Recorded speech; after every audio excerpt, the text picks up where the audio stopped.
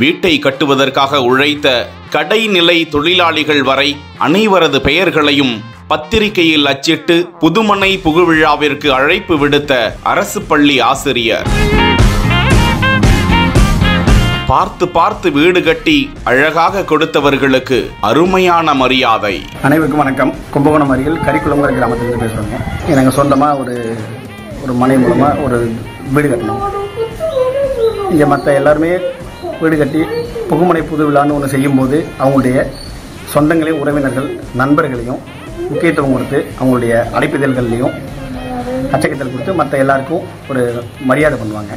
ஆனால் நாங்கள் இந்த வீட்டை மனம் வாங்கினதுலேருந்து இன்னைய வரைக்கும் எங்கள் கூட இருந்த நண்பர்களாகவும் அதுபோக தொழிலாளர்களாக எங்கள் கூட இருந்து